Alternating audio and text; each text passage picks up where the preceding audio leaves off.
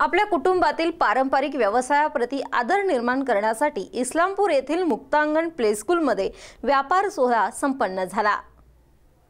इस्लामपूर येथील प्रशासकीय इमारतीच्या परिसरात चार वर्षाच्या आतील मुलांसाठी मुक्तांगणमध्ये खेळातून शिक्षण दिले जाते.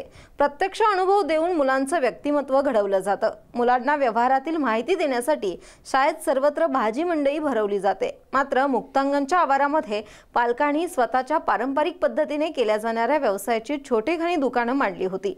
पालकांनी आपल्या कल्पकतेने दुकानं सजवली होती. चिमुकल्यांनी आपल्या दुकानात बसून व्यवहार कसे चालतात किलो डझन म्हणजे काय हे जाणून घेतलं.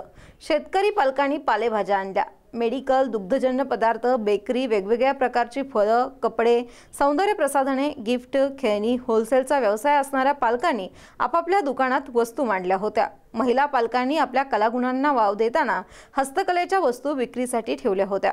स्वतः बनवून आणलेले ज्वेलरी विणकामाच्या वस्तू पौष्टिक पापड भडंग आदी वस्तू सर्वात जास्त आकर्षण तर खेळणी बाहुल्या गाड्या धबधबे बक्षिसांच्या ट्रॉफींनी मुलांचं लक्ष वेधून घेतलं.